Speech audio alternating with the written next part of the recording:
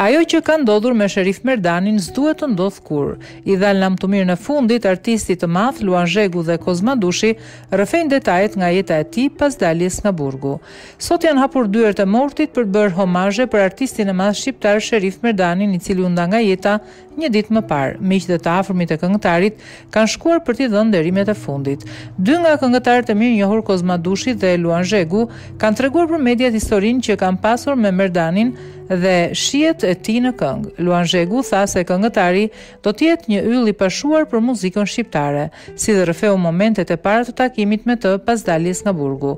Përshtypjet për Sherif Merdanin kanë qenë me emocion. Sapo doli nga burgu, takimin e parë e kemi pasur bashkë. Unë nuk e njoha sepse ishte me një kapele, por duke e parë tek sytë dhe zëri tha, Sherifi. Po më tha, u përqafuam dhe lotuam të dy. Emocioni tjetër ka qenë kur unë i kompozova këngën Se kënduam Let It Be, kënga pati jehonë të madhe. Sherifi kur e këndonte lotonte. Ajo ishte tamam jeta e Sherifit. Nuk e di, nuk e besoj akoma që Sherifi nuk është këtu. Ai ka ndrruar banesë, ai ka shkuar në vend tjetër. E prapë do të ndriçojë dhe do të ketë dritën e tij. Një yll i pashuar në muzikën shqiptare, i tillë do të mbetet. Gjej rastin të ngushëlloj gruan, djalin, të afërmit dhe farefisin e tij, ka thënë Luan Zhegu.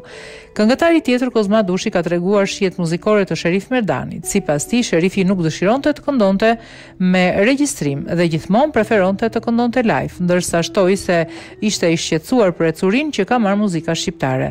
Sherifi bëri për vete rininë me këngët e tij të bukura. Takoheshim shpesh, se ishim në një lagje.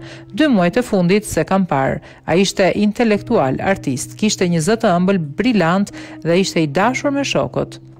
I lutem Zotit të prehet në paqe. Do ta kem në zemër për gjithë jetën. Unë me Sherifin kam biseduar shpesh. Festivali njëmbëdhjetë, por edhe të gjitha, ku ai ka marrë pjesë ishin këngë perla. Sherifi në vitet që erdhi demokracia, filloi në festivale të këndohej playback. Ai nuk i dëshironte këto dhe gjithmonë bënte kritika për këngët. Sherifi i donte këngët me ritëm, me poezi.